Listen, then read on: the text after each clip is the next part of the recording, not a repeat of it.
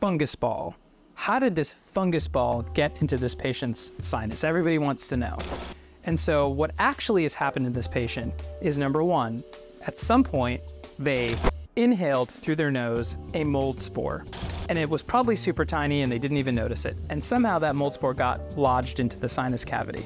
The second thing that happened, which doesn't happen in everyone, is that they actually have an allergy to mold. And typically this is a type 4 hypersensitivity reaction. There's four different types. This is type 4.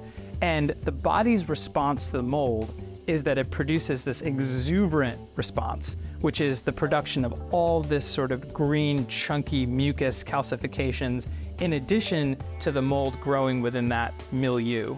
And so that's what's actually formed inside the patient's sinus, and that's what happened. So two things have to happen. You have to breathe in the mold spore, and you have to have an allergic reaction to it for this to build up. And it's actually quite common. We see these fungus balls in patient sinus cavities all the time.